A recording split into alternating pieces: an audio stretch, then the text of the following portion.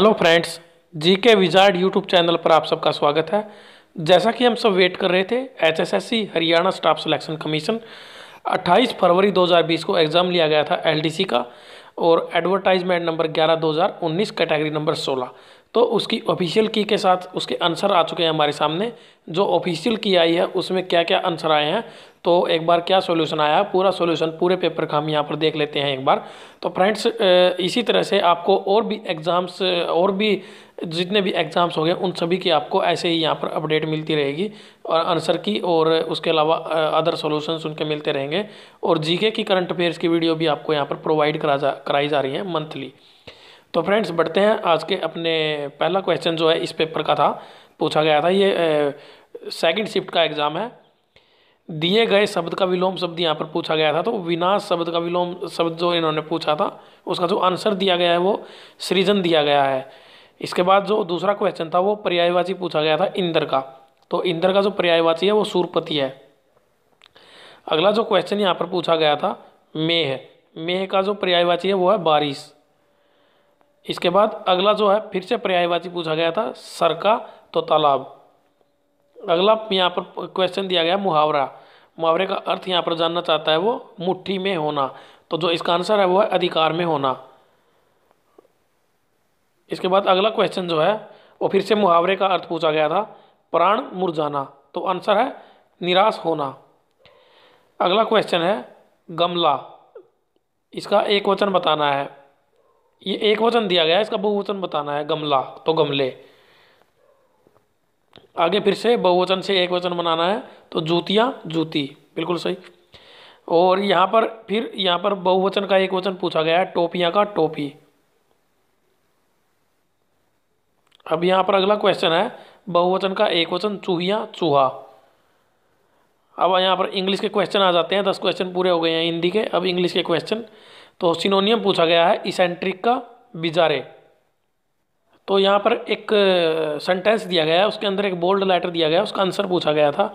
उसका यहाँ पर सेम मीनिंग पूछा गया था। तो उसका जो सेम मीनिंग बनता है एंटीडोट यहाँ पर है, उसका जो सेम मीनिंग है वो रेमेडी उसके बाद यहाँ पर एक और ऐसे ही दिया गया है और उसका अंडरलाइन वर्ड का अपोजिट मीनिंग यहाँ पर पूछा गया है वेरासिटी का। तो डिसीट यहाँ पर आंसर है। और अगला यहाँ पर दिया गया one should not dissipate the water resources तो यहाँ पर फिर से अपोजिट मीनिंग पूछा गया है तो कंसर्व इसके बाद Ram sold their house because it was a real white elephant यहाँ पर इसका मीनिंग पूछा गया है। ये आइटम फ्रेज दी गई है यहाँ पर। तो वेरी एक्सपेंसिव एंड यूजलेस इसके बाद यहाँ पर अगला क्वेश्चन जो दिया गया है, वो दिया गया है express the meaning of the idiom and phrase फिर से। Having a whale of time to enjoy yourself very much ये आंसर है यहाँ पर। इसके बाद अगला क्वेश्चन है फिर से। बोल्ड सब बोल्ड के अंदर जो मिसपेल्ड वर्ड है, इसकी जो मिसपेल्ड है ये, इसकी स्पेलिंग करेक्शन यहाँ पर पूछी गई है। तो ये सी ऑप्शन आप देख सकते हो यहाँ पर। इसके बाद जो अगला क्वेश्चन यहाँ पर दिया गया है following sentence choose the correct option do you know punctuate करना है इसको। Do you know the direction to Shanti Chowk? तो इसमें से जो सही बनना था, इसका जो सेंटेंस मेकिंग थी do you know the direction to Shanti Chowk?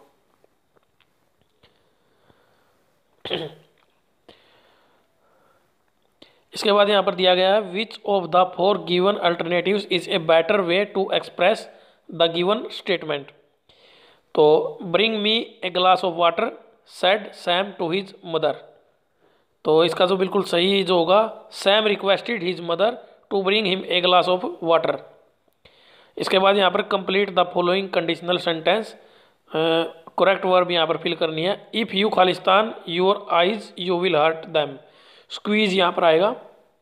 और यहाँ पर अब जीके के क्वेश्चन स्टार्ट हो गए हैं. तो आप देख सकते हो 1913 में साहित्य में नोबल पुरस्कार जीतने वाले पहले भारतीय का नागरिक का नाम बताएँ। रविंद्रनाथ टैगोर, बिल्कुल। यहाँ पर आसान सा क्वेश्चन था। उसके बाद यहाँ पर हिंदी और इंग्लिश दोनों में क्वेश्चन दिए गए हैं। उस प्रसिद्ध वैज्ञानिक का नाम बताइए, जिसे भारत के वर्षा मनुष्य के रूप में जाना जाता है। तो शिवानंद पई जो है, ये इनको जाना जाता है। 28 मई 2014 को प्रधानमंत्री के प्रधान सचिव के रूप में किसे नियुक्त किया गया? श्री नृपेंद्र सिंह। करंट का क्वेश्चन था। उस औषधीय पौधे का नाम बताइए, जिसके तने का उपयोग गले की खराश के लिए किया जाता है, मुलेठी। इसके बाद निम्नलिखित में से कौन सा एक घातक पौधा नहीं है? यूकेलिप्टस। नवजात कंगारू को क्या कहा जाता है? जोई। उन्नीस में भारत के संविधान का कौन सा अनुच्छेद हमें अभिव्यक्ति और अभिव्यक्ति की स्वतंत्रता का अधिकार देता है। तो ये उन्नीसवां।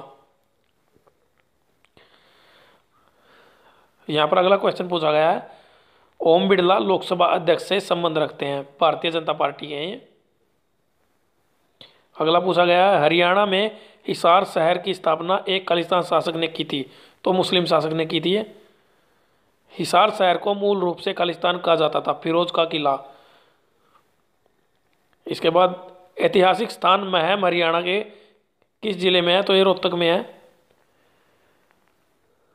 और जो अगला क्वेश्चन यहाँ पर है वो मनोहर लाल खट्टर 26 अक्टूबर 2014 को हरियाणा के मुख्यमंत्री के रूप में शपथ लेने वाले पहले बीजेपी नेता बने। इसके बाद हरियाणा राज्य में खालिस्तान शहर को देश के मिलेनियम शहर के रूप में जाना जाता है तो गुड़गांव। और यहाँ पर आईसीसीसी का मतलब integrated command and control centre यहाँ पर एक क्वेश्चन दिया गया। हरियाणा राज्य अंत्योदय आधार योजना के किस ज़िले में शुरू नहीं किया जा रहा है तो रेवाड़ी में नहीं शुरू किया जा रहा इसको। तो आईसीसीसी का उद्घाटन गुड़गांव में खालिस्तान द्वारा किया गया है, हरियाणा के मुख्यमंत्री द्वारा, और मनोहर लाल खट्टर हैं। निम्नलिखित में से कौन एक प्रसिद्ध संपादक या कार्टूनिस्ट है? शेखर गुरेरा, ये गुड़गांव से संबंधित है। और गुड़गांव का अगर ब्रांड मास्टर भी इनको बनाया गया है। तो यहाँ पर अगला क्वेश्चन दयाचंद मैना, एक गीतकार, कवि, गायक, जो कई रागनी गीत, सांग, किससे लिखते थे। बिल्कुल। और यहाँ पर जूही चावला, अंबाला में जन्मी एक भारतीय अभिनेत्री हैं, जो मुख्य रूप से बॉलीवुड फ़िल्मों में दिखाई देती हैं। निम्नलिखित में से कौन शिक्षाविदों के क्षेत्र में हरियाणा का एक प्रसिद्ध व्यक्तित्व नहीं है? एपीजे अब्दुल कलाम।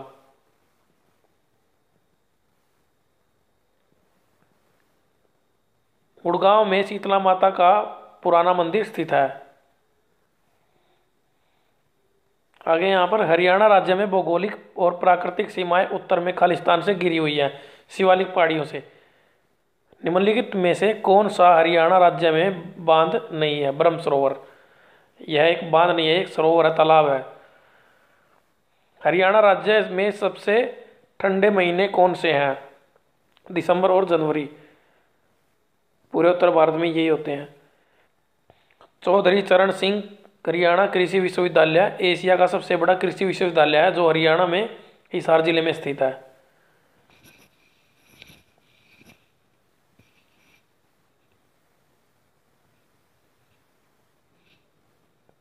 यहाँ पर अगला क्वेश्चन दिया गया है।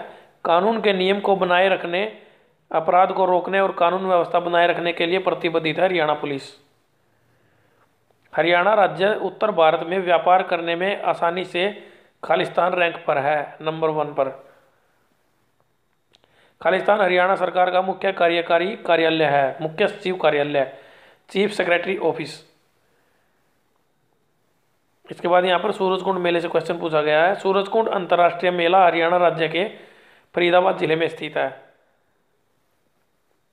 स्थित नहीं है, ये यहाँ पर आयोजित किया जाता है।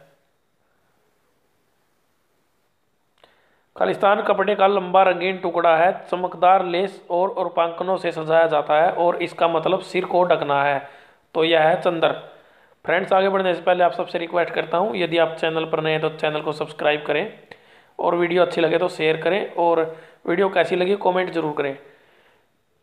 तीज हरियाणा राज्य में खालिस्तान महीने के तीसरे दिन मनाया जाता है तो श्रावण मास में। माइक्रो प्रोसेसर और अन्य प्रोग्राम योग्य उपकरणों के लिए एक निम्न स्तरीय प्रोग्रामिंग भाषा के रूप में जाना जाता है। असेंबली लैंग्वेज कंप्यूटर सिस्टम में चार बिट्स खालिस्तान के बराबर होते हैं तो ये एक निबल के बराबर होते हैं। खालिस्तान ऑपरेटिंग सिस्टम में एक यूज़र कार्य को तैयार करेगा और इसे पंच कार्ड जैसे उपकरण के रूप में कंप्यूटर ऑपरेटर को सौंप देगा। तो ये बैच। मॉडम एक नेटवर्क डिवाइस है जो प्रसंस्करण के लिए डिजिटल जानकारी की एनकोडिंग और डिकोडिंग करने के लिए एनालॉग वाहक संकेतों को मॉड्यूलेट और डिमोड्यूलेट करता है। फ्रेंड्स ये उनके लिए भी इम्पोर्टेंट है ये वीडियो जिनके आगे आगामी एग्ज़ाम होने हैं, वहाँ पर, यहाँ पर क्वेश्चन रिपीट किए गए थे तो यहाँ से रिपीट होने के बहुत ज़्यादा चांसेस हैं तो बड़े ध्यान से देखें इसको। पेरिफेरल डिवाइस आंतरिक या बाहरी डिवाइस है, जो सीधे कंप्यूटर से जुड़ते हैं, लेकिन कंप्यूटर के प्राथमिक कार्य में योगदान नहीं करते हैं। पहला ईमेल सिस्टम कब शुरू हुआ था, उन्नीस सौ अठहत्तर में? स्पेलिंग और ग्रामर माइक्रोसॉफ्ट वर्ड की एक विशेषता है। 2010 यह हमें बिना पढ़े किसी दस्तावेज़ में गलतियों को ठीक करने में मदद करता है। रिबन में कई टैब होते हैं, जिनमें से प्रत्येक में कमांड के कई समूह होते हैं। नीचे दी गई वस्तुओं में विषम को बाहर निकाले तो ये रीजनिंग के क्वेश्चन आ गए हैं। कार्बोहाइड्रेट पानी रुकसांस और विटामिन तो यहाँ पर कार्बोहाइड्रेट इनसे अलग होगा। यहाँ पर दिया गया है एस ए एम को टी बी एन लिखा जाता है तो जे ओ एन के पी ओ फिर यहाँ पर दिया गया है, चार दोस्त ओलिया, अदिति, एंजल और अनिका, अनिल के घर पर लूडो खेल रहे थे। अगर अदिति को एंजल के पास छोड़ दिया जाता है और आलिया को अदिति के पास छोड़ दिया जाता है तो एंजल के दाहिने और कौन है? तो जो इसका आंसर था, वो था अनिका। आगे यहाँ पर, लोगों की एक पंक्ति में, पंक्ति के दाईं ओर से ऋषि की स्थिति पैंतालीस है, बाईं ओर से सत्ताईसवें स्थान पर है। पंक्ति में कुल लोगों की संख्या ज्ञात कीजिए, इकहत्तर। यदि राम ऋतु के उत्तर में खड़ा है और श्याम राम के पूर्व में खड़ा है तो श्याम से के संबंध में ऋतु की दिशा में है, दक्षिण पश्चिम। आगे यहाँ पर मैथ का क्वेश्चन आ गया है। नहीं, यहाँ पे रीजनिंग का ही है। नीता उत्तर की ओर 20 किलोमीटर चलती है।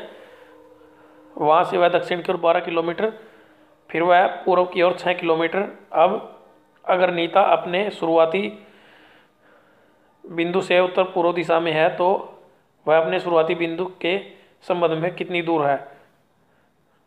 तो आंसर है दस किलोमीटर उत्तर पूर्व पूर्व।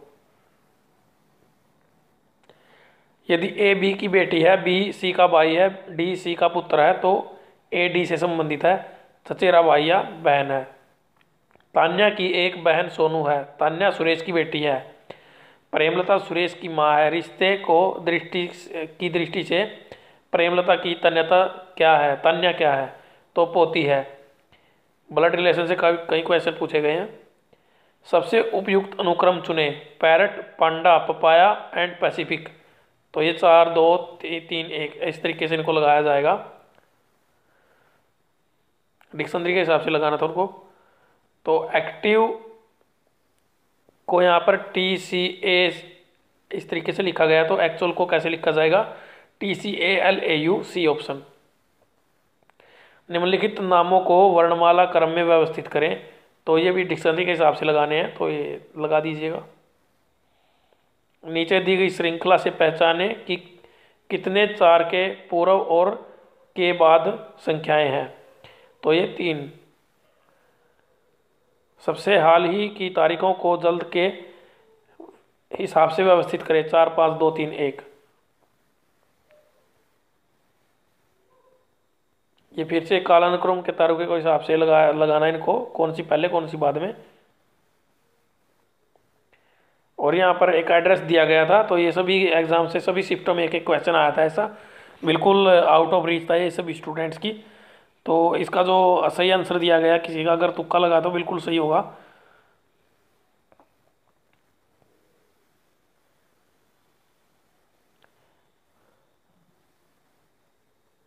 आगे यहाँ पर एक मैथ से क्वेश्चन दिया गया है, इसको सोल्व करने के बाद minus thirty one point two five Ram ने चालीस प्रतिशत के लाभ के साथ पच्चीस हज़ार रुपये की लागत का एक ग्राहक को एक लैपटॉप बेचा। विक्रय मूल्य की गणना करो। पैंतीस हज़ार रुपये जॉन ने बीस हज़ार रुपये में एक उपन्यास खरीदा और इसे सोलह हज़ार में बेच दिया। नुकसान का प्रतिशत खोजें। बीस प्रतिशत।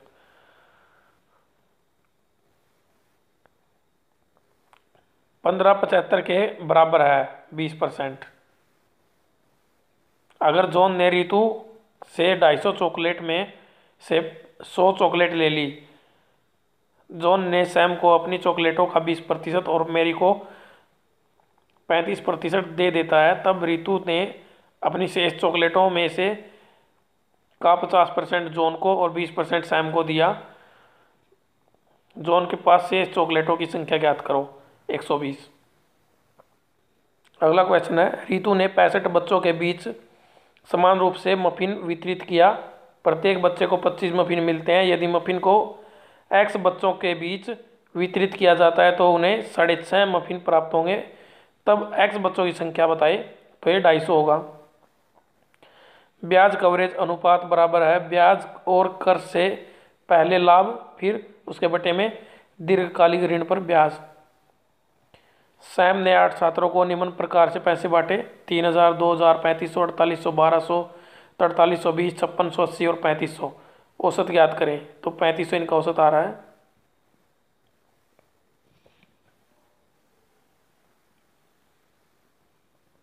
आगे यहाँ पर दिया गया है।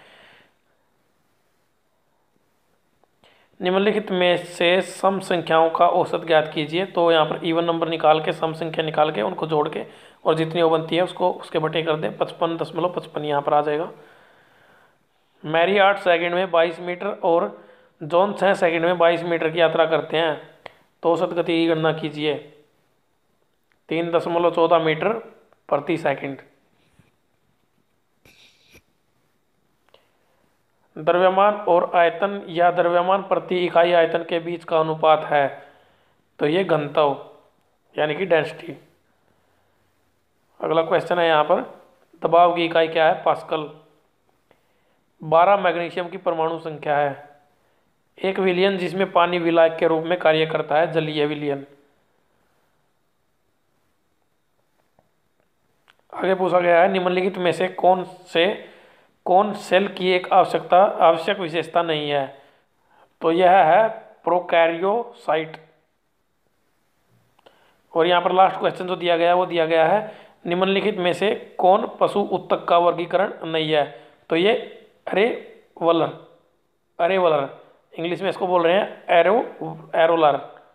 तो फ्रेंड्स, ये था एग्ज़ाम। इसी तरीके से आपको जितने भी एग्ज़ाम हुए थे, उन सभी की आंसर की प्रोवाइड करा दी जाएगी। और इसके अलावा मैं आपको बता चुका हूँ ऑलरेडी हमारी करंट अफेयर्स की क्लासेज चल रही हैं और जीके की और भी क्लासेज हमारी आने वाली हैं। तो फ्रेंड्स, उन सबसे अपडेटेड रहने के लिए चैनल को सब्सक्राइब करें और बेल आइकन दबाएँ। ताकि आपको नोटिफिकेशन मिल जाए और वीडियो आपको कैसी लगी कमेंट ज़रूर करें। Thank you